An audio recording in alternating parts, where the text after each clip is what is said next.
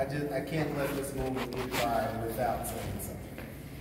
Um, the Bible tells, tells you to train up a child in the way that they should go, so that when they get old, they won't depart from it. I think we've done that. And then the Bible tells us to study, to show ourselves approved, working that uh, we need not be ashamed, rightly dividing the word of truth.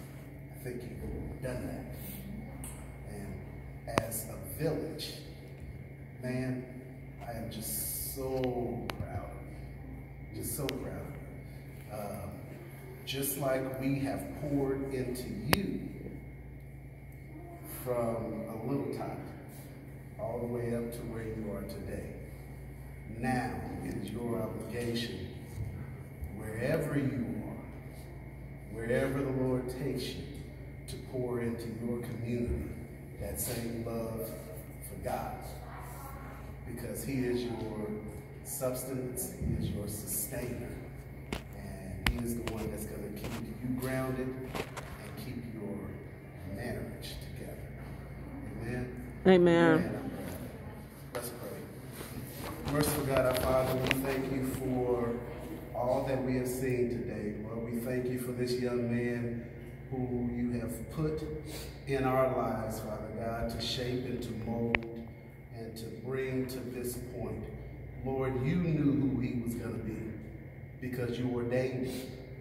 You equipped him, you sustained him, Father God.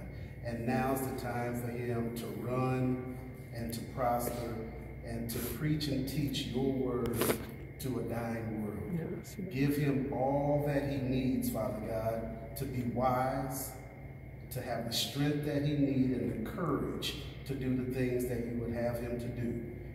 Lord, as a lawyer, he's going into a world of sharks. Help him to be the bigger shark, Father God, so that you and you alone will be praised.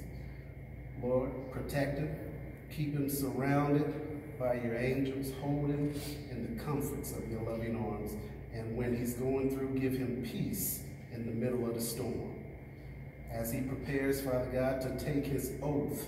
Help him to live up to that oath, Father God.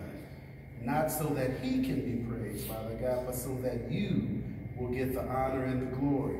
But more importantly, Father God, so that someone will see you through him and come running saying, what must I do to be saved? Because after all, Lord, all we are are your servants trying to tell this dying world that there is still a risen Savior and that his name is Jesus. So help him, Father God. Push him.